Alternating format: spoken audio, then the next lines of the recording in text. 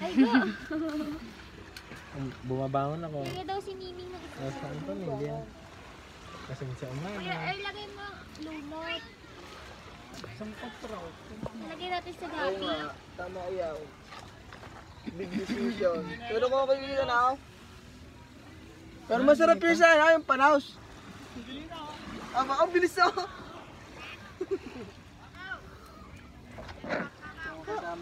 Yan. Eh, Okay, mag-flashlight nga kayong dalawa. wait lang. Kasama ako. Ay, ari pala. Kasya na. Hey! Yan, kami guys ay ano, ang mabig. nandito sa dagat.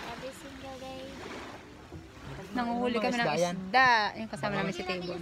Bangos na malian. Yun, si Tibon. Pipirituhin daw yung maliliit. At Charlie. Hindi mamatay mga isda. Ito Pag natin like, Nasaan na kayo? Si Jackie. Yun.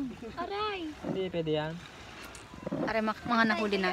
Mga nahuli ng person. Puyo.